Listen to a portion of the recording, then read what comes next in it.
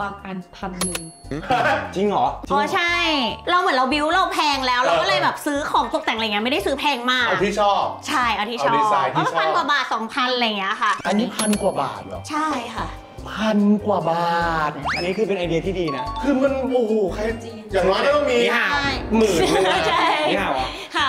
มันอยู่ที่ดีไซน์นะ คือถ้าเราชอบดีไซน์แล้วราคา ก็แป้งก็ไม่ซีเรียสใช่ไม่ซีเรียสเลย ขอเป็นดีไซน์ที่ถูกใจ แต่บางอย่างอะค่ะมันมันไม่จำเป็นต้องแบบที่สุดก็ได้มันอาจจะแบบกลางๆ ก็ได้มันก็อาจจะสามารถประหยัดงบได้มากกว่าอะไรอย่างเงี้ยอะไรที่ต้องทุ่มต้องใช้ก็ยอมทุ่ม แต่อะไรที่มันไม่จำเป็นแล้วมันเลือกแบบถูกได้ก็ใช่อย่างแบบเนี่ยเชนเลียอะไรอย่างเงี้ยค่ะถ้าสมมติว่าเราซื้อเป็นแสนอเป็นย่างแสนอันเงี้เนี้ยยเออแล้วก็มาคล้ายๆกันเสียค่าทำความสะอาดด้วยอะไรด้วยแล้วก็บางทีเราก็ไม่ค่อยได้เปิดด้วยแล้วเราแบบรู้สึกว่าเออเราประหยัดตรงนี้ได้นะ สวัสดีผีเป้าทางได้นะคะ อย่าลืมนะคะ มากดไลค์กดซับสไครต์ในช่องวันเพกล่าวด้วยนะคะอันนี่เป็นทาร์เก็ตน้องมันๆฝั่งเป็นใต้อ๋ไงอเป็นใต้เหรอและ